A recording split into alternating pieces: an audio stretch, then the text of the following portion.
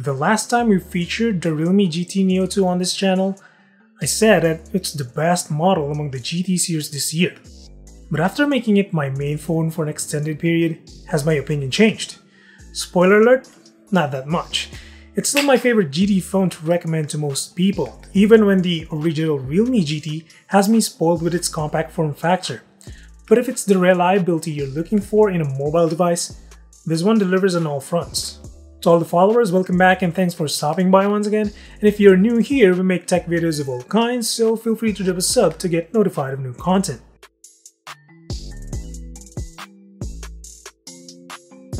Before I started using the GT Neo 2, take note that I came from the Realme GT, the Xiaomi 11T 5G, and the Poco F3. I've spent most of 2021 using these devices, so at this point I've grown accustomed to each of them and how they perform in the real world. With that said, let's start with the design. The GT Neo 2 here is the blue color that actually looks like other Oppo phones, which isn't surprising if you know the history of Oppo and Realme. The way the back matte finish shimmers is actually paler than in photos. Realme calls this Neo Blue, but I think it's more like a cloud blue personally speaking. I've yet to see minor or major scratches in back, the same applies to the plastic frame, however this is me using the phone with extra care you know, having a dedicated place in my pocket and not mixing it with other things like keys or coins. But if you need to be extra careful, the included case in the box is actually thick and sturdy for a free case. It's not ultra soft, but it's not also ultra stiff. It's just right in between. Do take note that it makes the phone a bit bulky and a bit unwieldy with one hand. But without a case, it's manageable. The in-screen fingerprint scanner, which is fast and accurate for 9 out of 10 times, is easily reachable and comfortable to use. It's that reaching the top half of the screen that may require some hand gymnastics, but overall, the form factor is a good balance between having a solid feeling phone with a big enough screen to enjoy content consumption while not throwing away ergonomics out of the window. If there's one thing I'm missing from this phone, it's the headphone jack. I still use wired headphones from time to time and using a cheap USB-C adapter doesn't do justice when it comes to quality. When it comes to display, the quality can go head to head with the Poco F3, Xiaomi 11T, while being miles better than the Realme GT. It's fast thanks to 120Hz refresh and bright enough to be comfortably used outdoors. GSM Arena's testing claims up to 659 nits in auto mode while up to 498 nits in manual mode. I personally think the manual mode is brighter than 500 nits, and although there's no dedicated outdoor mode in the display setting, the feature kicks in as soon as it senses direct sunlight. The bezel on the chin is slightly thicker than the top bezel, but they're so close to symmetry at times. In the display setting, you can choose from the three preset qualities. I had it set to vivid to get punchy colors without going overboard. You still get a couple of enhancer settings through O1 Ultra Vision Engine, but I still don't notice any difference when turned on. The only setting I turned on for the display is the bright HDR video mode. Despite the warning of high battery consumption, the difference is negligible in my experience. And as always, my refresh rate is always set to high or 120Hz all the time. Since we're talking about power consumption, let's get the battery out of the way. It's just great. I usually start using my phone at 9am and end the day near midnight. When connected to Wi-Fi all day, along with Bluetooth and GPS, I would usually end the night with more than 30% battery left for the next morning.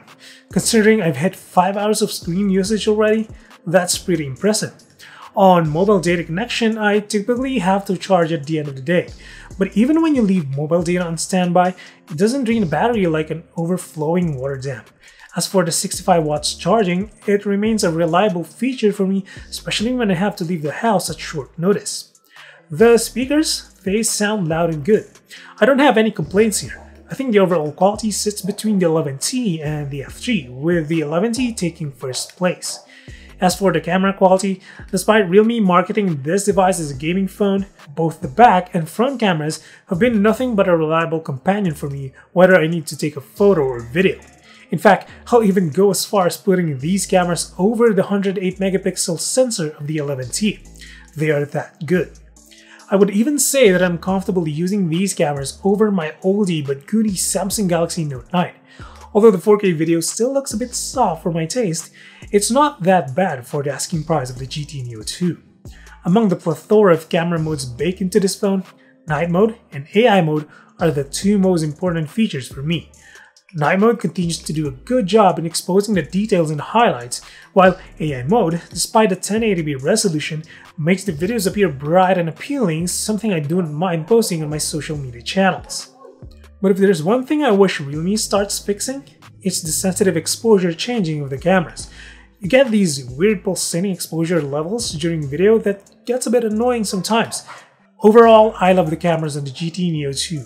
If you're looking for a Snapdragon 870 device with reliable and dependable cameras, the GT Neo 2 will not disappoint you. Last but definitely not least is the software. The GT Neo 2 is still running on Realme UI 2.0, but it's slated to receive the 3.0 version that's based on Android 12 somewhere around the second quarter of 2022. The company has opened beta testing last December, but given their track record, they usually take at least 2 to 3 months before they release the global stable version. I do have to say that the UI I'm running on right now is still fine. It needs a bit of optimization as some animations within the UI drop frames from time to time, but hopefully this gets fixed on the next update. One quirk I noticed is that the GT Neo 2 starts to receive late notifications once the battery hits around low 30s of the battery percentage. This has been a consistent occurrence for me and honestly speaking, it gets quite annoying. I didn't have this issue with the Realme GT, so it's weird to see that it's happening here.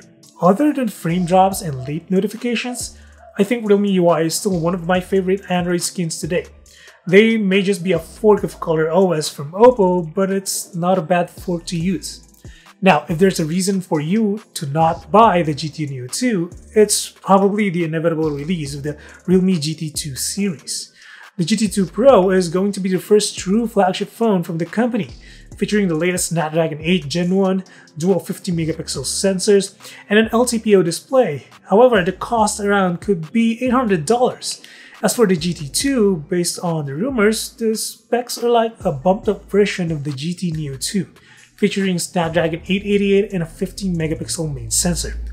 I'm not sure of the official price yet, but if I have to guess, I think it's going to be a bit more expensive than the GT Neo 2. And currently, the GT Neo 2 costs between $390 and $449.